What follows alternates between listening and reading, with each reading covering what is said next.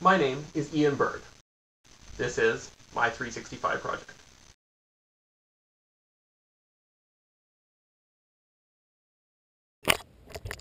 It's late. I'm tired. I already filmed this, but my camera was being faulty, so I have to redo this. It's day 70 of my 365 project. I'm not gonna lie, I didn't actually think I'd make it this far. I am very impressed with myself. 70 days is, is a fairly long time in my opinion, so I can't believe I've I've gotten this far with literally doing it every single day. Um, because it's late and because I'm tired, I have very little to say and I just want to go to bed. So my thing I'm going to show you is my new phone. I've had it for a day. Uh, I've checked out a bunch of the features.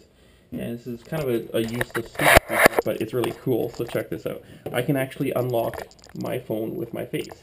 So if you watch nice and carefully there, I push the button and it unlocks. That's all you have to do.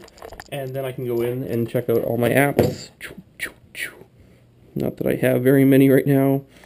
But uh, yeah, um, I like I like the phone a lot.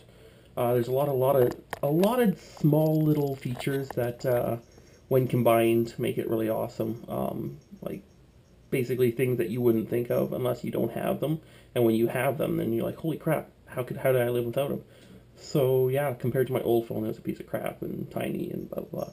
It's a huge screen. I I loaded like a bunch of Seinfeld on there. I was watching it on the bus. Screen 720p, so it's crystal clear. It's it's pretty awesome. So if, yeah, if you're in the uh, market for like an Android or any phone, I should say, you should get an Android like the Galaxy Nexus that I have here. Don't get one of those like iPhones because that's for like the Apple losers, and I'm gonna get in big trouble for saying that. But uh, I I do believe that. Um, well, like I said, it's late. I'm tired. I want to go to bed. So you have a good night. Technically, it's probably gonna be morning when you watch this. And uh, I will talk to you next time I'm on, which is sometime tomorrow.